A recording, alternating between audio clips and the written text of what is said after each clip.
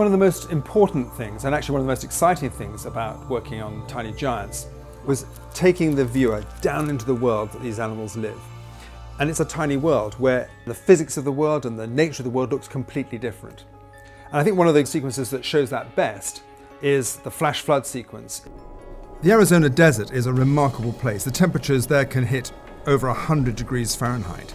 And that bakes the ground so hard that it becomes like, almost like concrete and it means water can't really penetrate through. So when there's a really heavy downpour, the rain doesn't sink into the ground, but it runs off and creates a torrent of water that can create what we call a flash flood. For that to happen, there has to be more than two inches or so of rain falling within six hours. And in Arizona, that happens maybe just once or twice a year. But if that does happen, then the water can be channeled down steep sided canyons or gullies, and it creates a wall of water that can, that can travel at extraordinary speeds. Now, that may not be such a problem for a human being, but if you're a tiny creature only six inches tall, that's like being faced with a tsunami.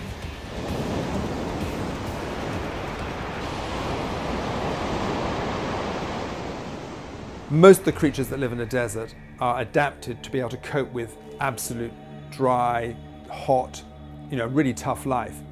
But all life needs some water, and these flash floods and these occasional rainstorms do allow water to spread across the desert, and so there is water for the plants and therefore some of the animals. So that's it's a lifeline for the creatures that live in the desert.